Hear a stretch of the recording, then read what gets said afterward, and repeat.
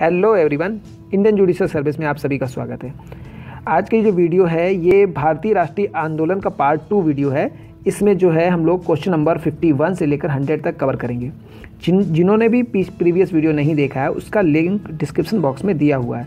और अगर आपको ये वीडियो पसंद आता है तो आप इसे लाइक कर सकते हैं और अपने दोस्तों को शेयर कर सकते हैं। चलिए शुरू करते हैं यहाँ पर क्वेश्चन नंबर 51 राष्ट्रीय आंदोलन का एकमात्र अधिवेशन जिसकी अध्यक्षता गांधी जी ने की है। तो यहाँ पर एक तथ्य दो तथ्य निकल के आते हैं। पहला तथ्य तो ये है कि गांधी जी ने सिर्फ़ एक बार ही रा, भारतीय राष्ट्रीय कांग्रेस का जो है अध्यक्षता की है। और वो किसमें की है? तो जो है यहाँ पर ऑप्शन सी सही है। बेलगांव अधिवेशन 1924 में गांधी जी ने भारतीय राष्ट्रीय कांग्रेस की अध्यक्षता की थी। अगले प्रश्न पे आते हैं। निम्नलिखित में से किस अधिवेशन में कांग्रेस ने पहली बार रियासतों के प्रति अपनी नीति घोषित की। तो यहाँ पर जो है ऑप्शन ए है नागपुर अधिवेशन, गया अधिवेशन। ऑप्शन यहाँ पर सी है कलकत्ता अधिवेशन और ऑप्शन डी है यहाँ पर लखनऊ अधिवेशन। तो जो भारतीय राष्ट्रीय कांग्रेस है, इसका जो इन्होंने रियासतों के प्रति अपनी नीति जो है पहली बार जो घोषित की थी, ये नागपुर अधिवेशन में की है। तो यहाँ पर ऑप्शन ए सही हो जाएगा, नागपुर अधिवेशन। नेक्स्ट प्रश्न क्वेश्चन नंबर फिफ्टी थ्री नीचे उन व्यक्तियों की सूची दी गई है जो भारतीय राष्ट्रीय कांग्रेस के अध्यक्ष हुए। तदनुसार उन्हें क्रमबद्ध कीजिए और नीचे दिए गए कूट का उपयोग कर अपना उत्तर चुनिए। तो पहला यहाँ पर ऑप्शन है महात्मा गांधी जी, दूसरा जवाहरलाल नेहरू, तीसरा वल्लभ भाई पटेल और चौथा है सरोजनी नायडू। चलिए हम लोग देखते हैं कि कौन से नेता ने कब जो है कांग्रेस का अध्यक्षता की है। तो सबसे पहले महात्मा गांधी जी, महात्मा गांधी जो जिसका हम लोग अभी पहले चर्चा कर चुके हैं तो इनका जो है 1924 बेलगांव में इन्होंने जो है अध्यक्षता की थी। उसके नंबर टू पे आते हैं सरोजनी नायडू। तो सरोजनी नायडू जी जो हैं, इन्होंने 1900 1925 यानी गांधी जी के ठीक बाद इन्होंने अध्यक्षता की थी। और जो जवाहरलाल नेहरू जी हैं, इन्होंने उन्नीस सौ उनतीस से लेकर 30 यानी दो वर्ष इन्होंने लगातार किया था। तो नेहरू जी जो हैं, वो 29 और 30 30 में करते हैं। और जो वल्लभ भाई पटेल हैं, ये 31 में, यानी 1931 में इन्होंने अध्यक्षता की। तो अब हम लोग कर्म बुला लेते हैं। पहला वन हो जाएगा, दूसरा फोर हो जाएगा तीसरा जो है टू हो जाएगा और थ्री यानी वन फोर टू थ्री तो यहाँ पर ऑप्शन हमारा सी सही हो जाएगा। अगले प्रश्न पे आते हैं। निम्नलिखित कथनों पर विचार कीजिए। तो भारतीय राष्ट्रीय कांग्रेस का प्रथम अधिवेशन कलकत्ता में हुआ। नहीं, ये एकदम ऑप्शन गलत है। भारतीय राष्ट्रीय कांग्रेस का जो हम लोग प्रीवियस वीडियो में इसको डिस्कस कर चुके हैं, जो है पहला अधिवेशन कहाँ हुआ था? मुंबई में हुआ था। तो ये गलत हो जाएगा। भारतीय राष्ट्रीय कांग्रेस का दूसरा अधिवेशन दादाबाई नौरोजी। की अध्यक्षता में ये एकदम सही है। दादा दादाबाई नौरोजी की अध्यक्षता में ही दूसरा अधिवेशन हुआ था। तो ये बिल्कुल सही है। और अगला है, भारतीय राष्ट्रीय कांग्रेस जो है तथा मुस्लिम लीग दोनों ने लखनऊ में 1916 के अधिवेशन किया तथा लखनऊ समझौता संपन्न हुआ। उपयुक्त कथन में से कौन सा सही है? तो ये भी एकदम सही है। जो लखनऊ अधिवेशन हुआ था, इसी में जो है मुस्लिम लीग और कांग्रेस के बीच में जो है अस्थाई जो है गठबंधन हो गया था, यानी यहाँ पर दोनों लोग ज्वाइंट हो गए थे। तो यहाँ पर हमारा दूसरा और तीसरा सही है तो ऑप्शन सी हो जाएगा। अगले प्रश्न पे आते हैं क्वेश्चन नंबर फिफ्टी फाइव जन, गण, मन, यानी हमारा राष्ट्रीय गान जो है, पहली बार किस अवसर पर गाया गया था? तो हमारा जनमनगण जो है, वो पहली बार जो है ऑप्शन सी है यहाँ पर। भारतीय राष्ट्रीय कांग्रेस के अधिवेशन 1911 में गाया गया था। तो जनगणमन कांग्रेस के जो अधिवेशन 1911 में हुआ था, उसमें गाया गया था। नेक्स्ट प्रश्न पे आते हैं। क्वेश्चन नंबर 56 तो सूची एक को सूची दो से मिलाना है तो पहला हम देखते हैं यहाँ पे यहाँ पे कांग्रेस अध्यक्ष हैं और यहाँ पर अधिवेशन है। तो जो हमारे डॉक्टर यम ए अंसारी हैं तो यम ए अंसारी जो हैं, इनका जो, इन्होंने कौन से अधिवेशन की अध्यक्षता की तो इन्होंने मद्रास अधिवेशन की अध्यक्षता की। तो ए का हो जाएगा थ्री अगला है ऑप्शन बी यहाँ पर। पुरुषोत्तम दास टंडन। तो पुरुषोत्तम दास टंडन जी ने जो है नासिक अधिवेशन की अध्यक्षता की तो ये हो जाएगा फोर। अगला सरोजनी नायडू है। सरोजनी नायडू जी जो है, ये कानपुर अधिवेशन में इन्होंने यहाँ पे अध्यक्षता की थी तो ये हो जाएँगे ऑप्शन टू। और लास्ट है सुभाष चंद्र बोस। तो सुभाष चंद्र बोस जी जो हैं, इन्होंने हरिपुर, बहुत ही प्रसिद्ध ये सम्मेलन रहा था, हरिपुर गांधी जी और इन्हें कुछ भी यहाँ पर मध्य मतभेद हो गया था। तो यहाँ पर ऑप्शन वन हो जाएगा। तो यहाँ पर हमारा जो आंसर बनता है three four two one three four two one तो ऑप्शन सी यहाँ पर हमारा करेक्ट हो जाएगा। नेक्स्ट पे आते हैं। भारतीय राष्ट्रीय कांग्रेस के बारे में निम्नलिखित कथनों पर विचार कीजिए। सरोजनी नायडू कांग्रेस की अध्यक्ष होने वाली प्रथम महिला थी। इस पर हम लोग पहले भी चर्चा कर चुके हैं। सरोजनी नायडू प्रथम अध्यक्ष, महिला अध्यक्ष नहीं थी। तो अच्छा कौन थी, इसको हम पहले वीडियो में बता चुके हैं। इसलिए अगर आप लोग को नहीं मालूम तो प्रीवियस वीडियो देख लीजिए। अगर मालूम है तो कमेंट बॉक्स पे जो है, इसको ज़रूर दीजिएगा। तो ठीक है तो ये यहाँ पर ऑप्शन गलत हो जाएगा। वो प्रथम महिला अध्यक्ष नहीं रही हैं। दूसरा है सी आर, जो दास हैं, जो जब कांग्रेस अध्यक्ष के रूप में कार्य किया तो वे जेल में थे। और यहाँ पर जो अगला ऑप्शन है, ये एकदम सही है। जब उन्होंने कांग्रेस अध्यक्ष के रूप में थे तो वो उस समय जेल में थे। सी आर दास एक ऐसे अध्यक्ष हैं, जब वो अध्यक्ष बने तो वो जेल में थे। अगला ऑप्शन सी है, एलन एक्वा एक्वेवियन ह्यूम, यानी कि ए ओ ह्यूम जो है, प्रथम ब्रिटिश नागरिक थे जो कांग्रेस के अध्यक्ष बने। ये भी गलत है। तो यहाँ पर जो है, वो अध्यक्ष नहीं बने थे, वो सेक्रेटरी बने थे। तो ये ऑप्शन सही नहीं है। अगला है Alfred Webb Alfred Webb 19 sorry 1894 में कांग्रेस के अध्यक्ष बने थे। ये एकदम सही है। तो यहाँ पर ऑप्शन टू और ऑप्शन फोर सही है तो यानी हमारा आंसर हो जाएगा ऑप्शन बी अच्छा ये बताइए, जो पहले अध्यक्ष थे, वो कौन थे? इस पर भी हम लोग पिछले वीडियो में चर्चा कर चुके हैं। वैसे डब्ल्यू सी बनर्जी जो हैं, वो इसके प्रथम अध्यक्ष थे, वो उमेश चंद बनर्जी। नेक्स्ट क्वेश्चन पे आते हैं। 58 कांग्रेस और मुस्लिम लीग के बीच में प्रसिद्ध लखनऊ समझौता हुआ। इस पर अभी देखिए प्रीवियस ये भी क्वेश्चन आ चुका है, इससे रिलेटेड तथ्य। तो उनका जो जो समझौता हुआ था लखनऊ अधिवेशन, ये 1916 में हुआ। तो हमारा ऑप्शन, आंसर ऑप्शन डी हो जाएगा। अगले प्रश्न पे आते हैं। क्वेश्चन नंबर 59 1916 में भारतीय राष्ट्रीय कांग्रेस के लखनऊ अधिवेशन की अध्यक्षता की थी। तो यहाँ पर ए सी मजूमदार जी है ऑप्शन डी यहाँ पर सही है। इन्होंने 1916 में अध्यक्षता की थी। अगले प्रश्न पे आते हैं। क्वेश्चन नंबर 60 दिसंबर 1916 में इंडियन नेशनल कॉन्फ्रेंस और इंडियन मुस्लिम लीग ने एक ही समय में अपने अधिवेशन को आयोजित किए थे। तो 1916 का जो अधिवेशन है, अभी तो हम लोग इस पर डिस्कस कर ही चुके हैं। अध्यक्ष M C Majumdar A C Majumdar जो हैं, रहे हैं। तो यहाँ पर जो आंसर हो जाएगा हमारा वो लखनऊ हो जाएगा, क्योंकि लखनऊ में ही जो है ये सम्मेलन हुआ था, जिसमें मुस्लिम लीग और इंडियन नेशनल अस्थायी रूप से, संयुक्त रूप से जुड़ गए थे। तो question number sixty one, British शासन के दौरान बिहार को एक अलग प्रांत का दर्जा, यहाँ बिहार को एक अलग प्रांत का दर्जा किस वर्ष दिया गया? तो यहाँ पर ब्रिटिश शासन के दौरान बिहार को एक अलग प्रांत का दर्जा 1912 में दिया गया। तो यहाँ ऑप्शन बी सही हो जाएगा। क्वेश्चन नंबर सिक्सटी टू, अतिवादियों और उदारवादियों ने आतंकवादी भी कहा जाता है, कई क्वेश्चनों में आ चुका है पीसीएस में आ चुका है, आतंकवादी सब प्रयोग किया गया तो उग्रवादी भी कहा जाता है। तो अतिवादियों और उदारवादियों के पुनर्मिलन की प्रक्रिया में प्रमुख शिल्पी निम्न में से कौन थे? तो ये बहुत ही अच्छा क्वेश्चन है। तो इन दोनों को मिलाने में सबसे बड़ा योगदान जो है एनी बेसेंट का रहा है तो ऑप्शन ए हमारा यहाँ पर सही हो जाएगा। क्वेश्चन नंबर 63 वर्ष 1916 में मुस्लिम लीग और कांग्रेस के मध्य किसने समझौता करवाया? तो 1916 में जो कांग्रेस के मध्य समझा कांग्रेस और मुस्लिम लीग के मध्य जो समझौता करवाया था, वो बाल गंगाधर तिलक जी ने कराया। तो ऑप्शन यहाँ भी ए हो जाएगा। ठीक है, क्वेश्चन नंबर 64 कांग्रेस के 1916 के लखनऊ अधिवेशन में कौन सा मुख्य दूरगामी परिणाम वाला निर्णय लिया गया?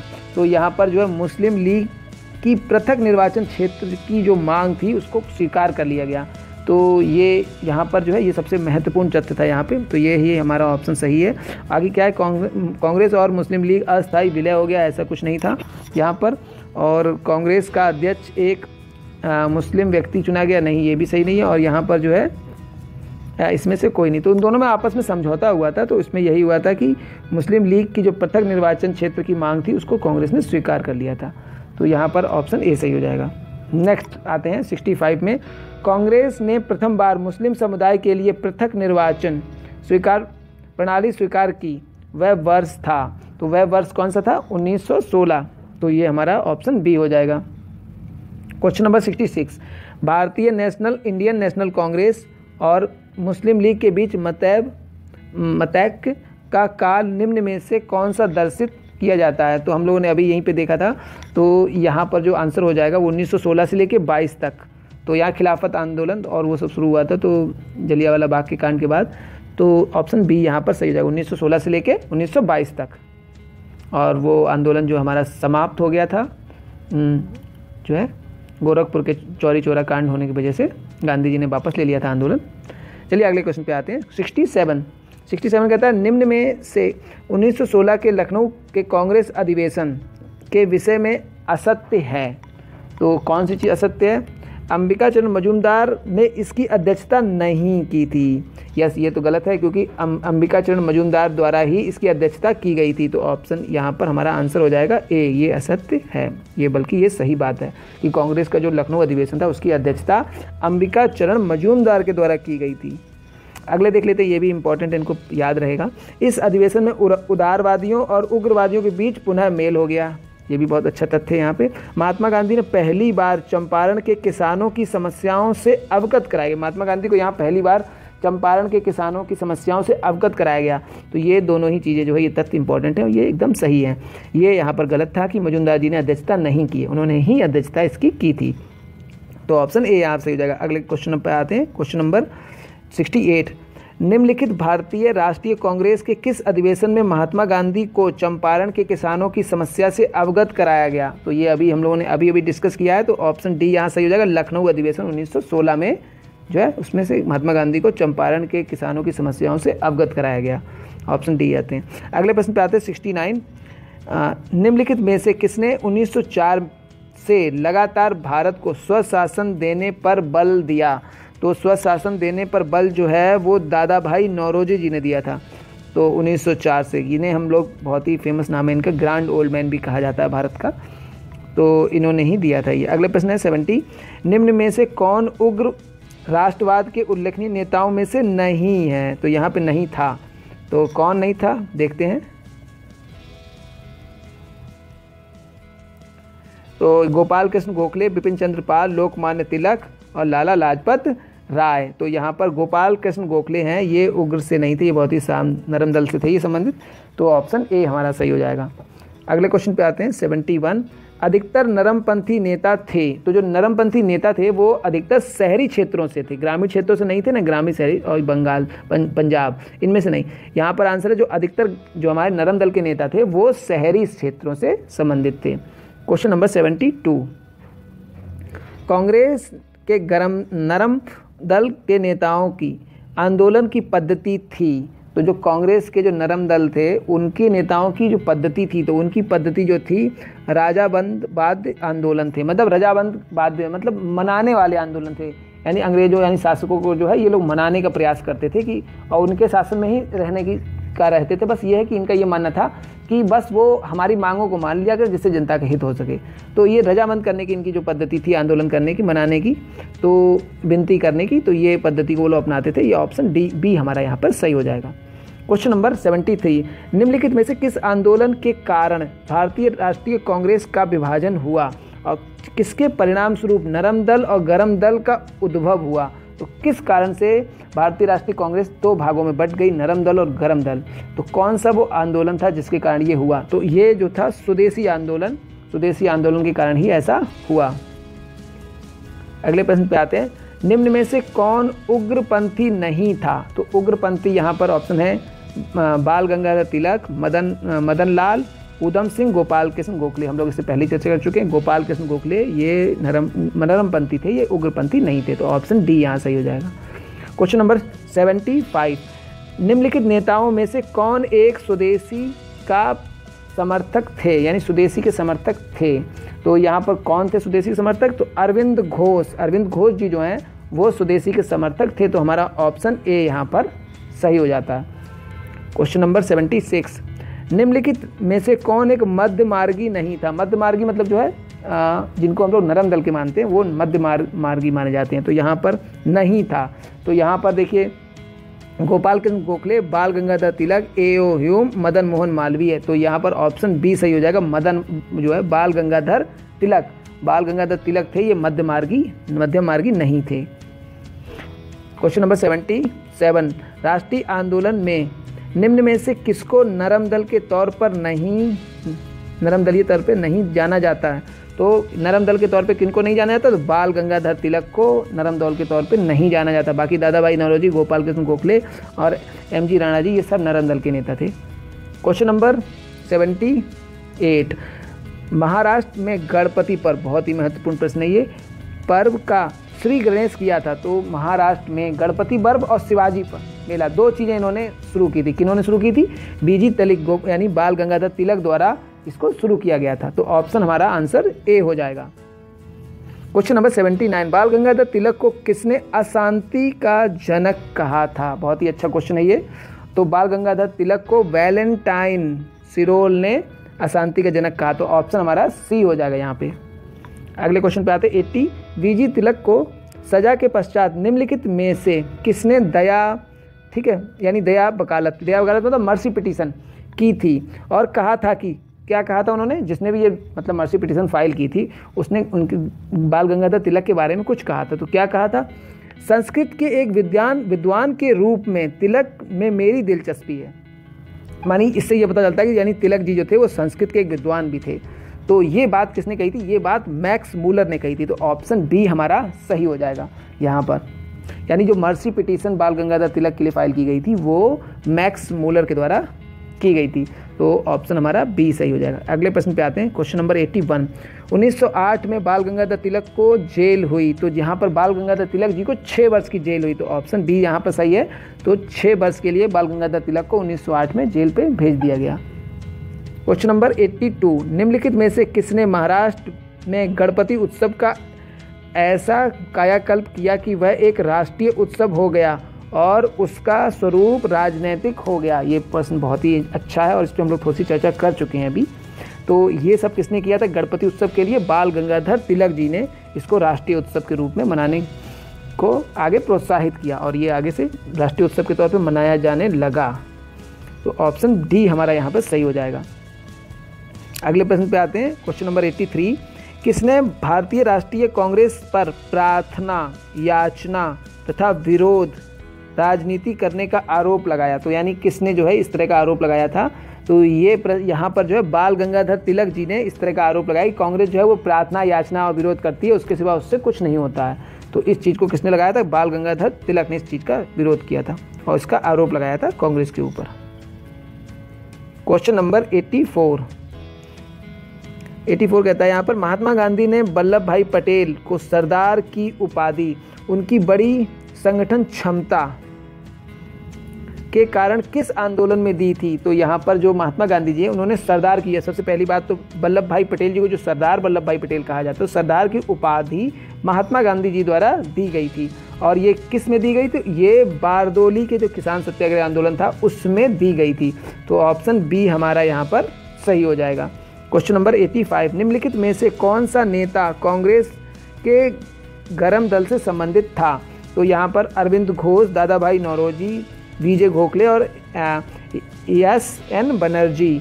तो यहाँ पर जो गरम दल का नेता है, ये अरविंद घोष। तो अरविंद घोष जो थे, वो गरम दल के नेता थे।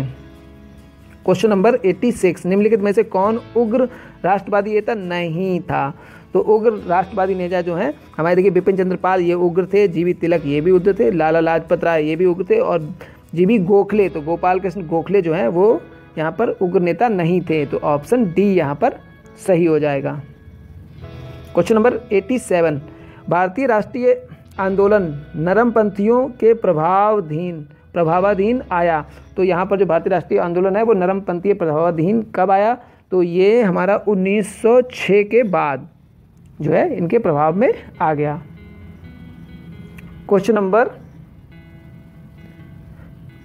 निम्नलिखित में से कौन भारतीय राष्ट्रीय कांग्रेस के में उदारवादियों से जुड़ा नहीं था? तो उदारवादियों से जो है, कौन जुड़ा नहीं था? तो उदारवादियों में हमारे फिरोज शाह मेहता, ये भी नरमपंथी उदारवादी थे। दादा भाई नौरोजी, ये भी उदारवादी थे।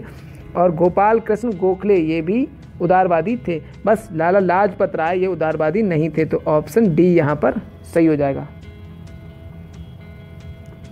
अगले प्रश्न पे आते हैं क्वेश्चन नंबर 89 भारतीय मुसलमान सामान्य रूप से उग्रवादी आंदोलन की ओर आकर्षित नहीं हुए, इसका कारण था। तो यहाँ पर भारतीय मुसलमान हैं, वो सामान्य रूप से उग्रवादी आंदोलन की ओर आकर्षित नहीं हुए थे, इसका कारण क्या था? तो ऑप्शन ए देखते हैं यहाँ पर। उन पर सर सैयद अहमद खां का प्रभाव था। नहीं, ये कोई कारण नहीं है। उग्रवादी नेताओं का मुस्लिम विरोधी दृष्टिकोण नहीं, ये भी नहीं। और मुस्लिम आकांक्षाओं के प्रति उदासीनता का भाव नहीं। उग्रवादियों की हिंदू अतीत का राग अपनाने की नीति, यानी जो उग्रवादी जो नेता थे, वो हिंदू अतीत को ज़्यादा मतलब उसको महत्व देते थे। जैसे गणपति पब मनाना और ये सब चीज़ें हैं तो वो हिंदू धर्म को ज़्यादा प्रोत्साहित करते थे। उसके बारे में बताते थे हमारे ये इतिहास के बारे में, जिसके कारण मुस्लिम लोग जो हैं, वो इसमें सम्मिलित नहीं हुए, उनको ये आकर्षित नहीं कर पाए उग्रवादी आंदोलन। तो इसीलिए हमारा ऑप्शन डी यहाँ पर सही हो जाएगा। तो इसका कारण यही था। अगला प्रश्न आता है question number ninety Mahatma Gandhi के साथ निम्न मुसलमानों में से किसने बल, बाल गंगाधर तिलक को अर्थ तिलक की अर्थी उठाई, यानी जो बाल गंगाधर की मृत्यु हो गई थी तो उनकी अर्थी को महात्मा गांधी के साथ, यानी महात्मा गांधी ने उनकी अर्थी उठाई। साथ में कौन एक प्रसिद्ध नेता जो है, उन्होंने भी उठाई। तो यहाँ पर किस, और वो भी नेता, मुसलमान नेता ने उठाई। तो यहाँ पर मुसलमान ने शौकत अली शौकत अली जी ने जो है महात्मा गांधी जी के साथ में बाल गंगाधर तिलक की अर्थी को उठाया। तो ऑप्शन ए हमारा यहाँ पर सही हो जाएगा। Question number ninety one. Bharat के स्वतंत्रता आंदोलन के प्रारंभिक दौर में उग्रवादी विचारधारा को निम्नलिखित में से कौन सा एक निरूपित करता है?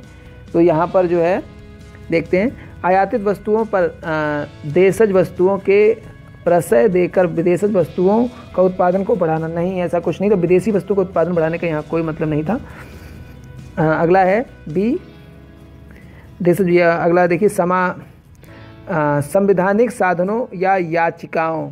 के स्थान पर आक्रामक साधनों से स्वशासन प्राप्त करना। तो यहाँ पर जो उग्रवादी नेता थे, वो इसी चीज़ को महत्व देते थे।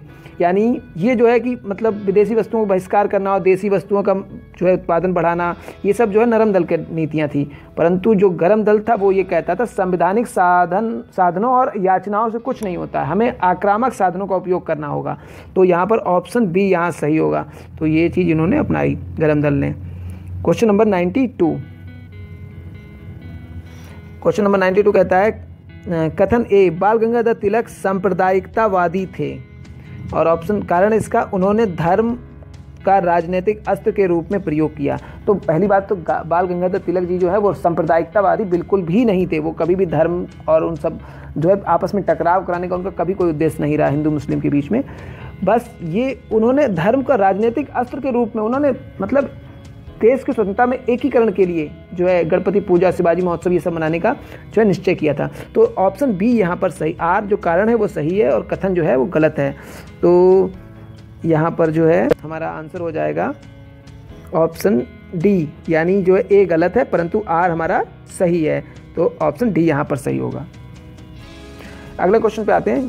क्वेश्चन नंबर 93 निम्न में से किस एक को लाला लाजपत राय ने अपना राजनीतिक गुरु चुना? तो लाला लाजपत राय ने, देखिए, यहाँ पर गैरी बाल्डी, नहीं, इनको नहीं चुना, विवेकानंद जी को नहीं दादा भाई नौरोजी और मैजनी, यस, मैजनी को जो है लाला लाजपत राय ने अपना राजनीतिक गुरु चुना। क्वेश्चन नंबर 94 94 कहता है यहाँ पर शेर पंजाब नाम से बहुत ही इंपॉर्टेंट क्वेश्चन है ये। शेर पंजाब नाम से जो है, इनमें से कौन मशहूर है? तो शेर पंजाब नाम से लाला लाजपत राय जी मशहूर हैं। फ़ेमस है यहाँ पे शेर पंजाब। क्वेश्चन नंबर 95 भारतीय राष्ट्रीय कांग्रेस को किसने भीख मांगने वाली संस्था, यानी बैगिंग इंस्टीट्यूट कहा था? तो महात्मा जो है, यहाँ पर जो है, जीबी तिलक, यानी बाल गंगाधर तिलक जी ने कांग्रेस को भीख मांगने वाली संस्था कहा था, क्योंकि यहाँ पर नरम दलों का बहुत ही प्रभाव था और वो हमेशा याचना अंग्रेज़ों से करते रहते थे। कि हमारी मांगों को मान लिया जाए ये कर लिया जाए। उसके बाद कोई कठोर सख्त कदम नहीं उठाते इसलिए उन्होंने भीख मांगने वाली संस्था कहा। क्वेश्चन नंबर 96 देखते हैं। भारतीय स्वतंत्रता संग्राम के संदर्भ में 16 अक्टूबर 1905 निम्नलिखित कारणों में से किसके लिए प्रसिद्ध है? तो 16 अक्टूबर 1905 को कलकत्ता के टाउन हॉल में स्वदेशी आंदोलन की औपचारिक घोषणा नहीं ये नहीं है यहाँ पे। आ, बंगाल विभाजन यस यस। यानी 16 अक्टूबर 1905 को बंगाल विभाजन हुआ था तो हमारा ऑप्शन बी सही हो जाएगा। अगला देखते हैं, यहाँ पे क्या है ऑप्शन दादा भाई, नौरोजी की घोषणा भारतीय राष्ट्रीय कांग्रेस की लक्ष्य की सुराज नहीं, ये भी नहीं लोकमान्य तिलक ने पूना स्वदेशी आंदोलन प्रारंभ नहीं। तो यहाँ पर ऑप्शन हमारा बी आंसर सही है। क्वेश्चन नंबर नाइन्टी बंग और भंग विरोधी न्याय आंदोलन का प्रारंभ किस तिथि में हुआ था? तो ये बंग और भंग जो आंदोलन है, ये किस तिथि में हुआ है? तो यहाँ पर जो बंग भंग आंदोलन है, ये सात अगस्त 1905 यानी ऑप्शन बी यहाँ पर सही सात अगस्त 1905 को बंग भंग विरोधी आंदोलन किया गया। बंग मतलब है यहाँ पे बंगाल को भंग करने के विरोध में जो आंदोलन किया गया हमारा, क्योंकि बंगाल दो भंग भागों में बांट दिया गया था। तो उसके विरोध में हम लोग जो यहाँ पे आंदोलन शुरू हुआ 1905 में। तो ये ऑप्शन बी यहाँ सही हो जाएगा। सात अगस्त 1905 क्वेश्चन नंबर 98 निम्नलिखित में से बाद में क्या हुआ? तो देखिए, यहाँ देख लेते हैं हम लोग कौन सी चीज़ कब हुई है। तो पहले यहाँ पर जो है, सबसे पहले हम लोग ऑप्शन ए देखते हैं। तो हड़प नीति जो है, ये हमारे हड़प नीति जो है, डलहौजी के द्वारा लाई गई थी। डॉक्ट्रिन ऑफ़ लैब्स कहा जाता है इन्हें। इसे तो ये 1848 में 1848 से लेकर 1850 यानी 56 तक रही है। अठारह सौ सत्तावन की फिर क्रांति हो गई, उसके बाद फिर ये नीति समाप्त कर दी गई यहाँ पर। तो ये चीज़ यहाँ पर हुई। स्थायी बंदोबस्त जो है, वो 1793 में लाया गया। तो स्थायी बंदोबस्त जो था, वो 1793 में लाया गया। और जो सहायक संधि हुई थी, सहायक संधि है, ये 1798 सहायक संधि जो है 1798 से लेकर, यानी 1805 तक रही है। तो 1805 तक जो है, सहायक संधि थी। सहायक संधि को लाने वाले कौन थे? ये लॉर्ड बेलेजली थे। बेलेजली और इन्होंने सहायक संधि में सबसे पहले हैदराबाद के जो निज़ाम थे, इन्होंने इस पर संधि मतलब साइन किए थे यहाँ पे। और सबसे अंत में हम लोग का यहाँ पे है बंगाल विभाजन। तो बंगाल विभाजन कब हुआ? अभी लोग, हम लोग चर्चा कर चुके हैं। तो 1905 में बंगाल का विभाजन हुआ। तो इस प्रश्न के अनुसार निम्नलिखित में सबसे बाद में क्या हुआ? तो सबसे बाद में यहाँ पर बंगाल विभाजन, क्योंकि हड़प नीति जो है डॉक्ट्रिन ऑफ़ लैब्स डोलॉजी के द्वारा, ये एटीन से फिफ्टी सिक्स थी। और स्थायी बंदोबस्त सत्रह सौ तिरानवे में आया। सहायक संधि जो है लॉर्ड बेरेजली द्वारा यहाँ पर नाइन सेवनटीन नाइन्टी एट से लेकर एटीन ज़ीरो फाइव तक रही। तो हमारा यहाँ आंसर हो जाएगा 1905 बंगाल विभाजन ऑप्शन बी क्वेश्चन नंबर 99 तो निम्नलिखित वर्गों में से कौन 1905 में स्वदेशी आंदोलन से मुख्यतः अप्रभावित रहा? तो स्वदेशी आंदोलन से मुख्यतः कौन यहाँ पर अप्रभावित रहा? तो इस इस प्रश्न में जो है, स्वदेशी आंदोलन में तो यहाँ पर कृषक और मुसलमान तो स्वदेशी आंदोलन में कृषक और मुसलमान दोनों ही जो व्यक्ति हैं, वो अप्रभावित रहे। तो हमारा यहाँ पर ऑप्शन सी हो जाएगा। यानी बुद्धिजीव और महिलाएँ यहाँ पर जो है सक्रिय रहीं, मगर जो कृषक हैं और जो है मुसलमान हैं, दोनों ही यहाँ पर अप्रभावी रहे। लास्ट देखते हैं हम लोग। फाइनल आंसर है यहाँ पे। क्वेश्चन है। क्वेश्चन नंबर हंड्रेड बंग भंग के लागू होने की तिथि 16 अक्टूबर 1905 को। बंगाल में किसके सुझाव पर राखी दिवस के रूप में मनाया गया? तो जो राखी दिवस के रूप में किसके सुझाव के द्वारा बंग भंग के लागू होने की तिथि पर राखी दिवस के रूप में बंगाल भंग को मनाया गया? तो ये जो है रविंद्रनाथ टैगोर जी के द्वारा इसको जो है सुझाव दिया गया कि जो है बंग भंग जो है इस तिथि को राखी दिवस के रूप में मनाएँगे। 16 अक्टूबर 1905 को राखी दिवस के रूप में मनाया गया। इसका सुझाव किसने दिया? इसका सुझाव रविंद्रनाथ टैगोर जी ने दिया। चलिए इस वीडियो को हम लोग यहीं पे समाप्त करते हैं। नेक्स्ट वीडियो में हम लोग 101 से लेकर 150 तक कवर करेंगे। अगर ये वीडियो आपको पसंद आता है तो आप इसे लाइक कर सकते हैं और हमारे चैनल को सब्सक्राइब कीजिए। Thank you for watching Indian judicial service